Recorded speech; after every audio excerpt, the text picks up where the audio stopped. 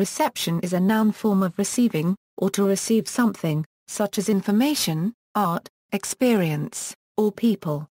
It is often used in the following contexts, in telecommunications, the action of an electronic receiver, such as for radio or remote control, television reception.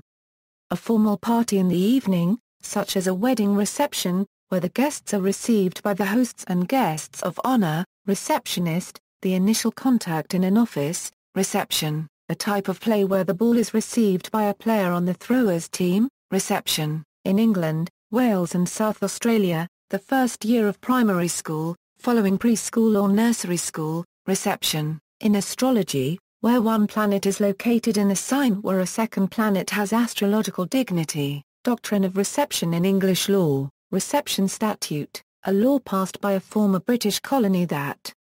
provides for the adoption of pre-independence English common law where not superseded by the local constitution or legislature, aesthetics and popularity, reception, a 2011 short film, The Reception, a 2005 film. See also, reception theory. Jurisprudential reception is about legal reception or reception. This is a legal theory not to be confused with receptionist in law firms. Mutual reception, receivership, receipt, receiving,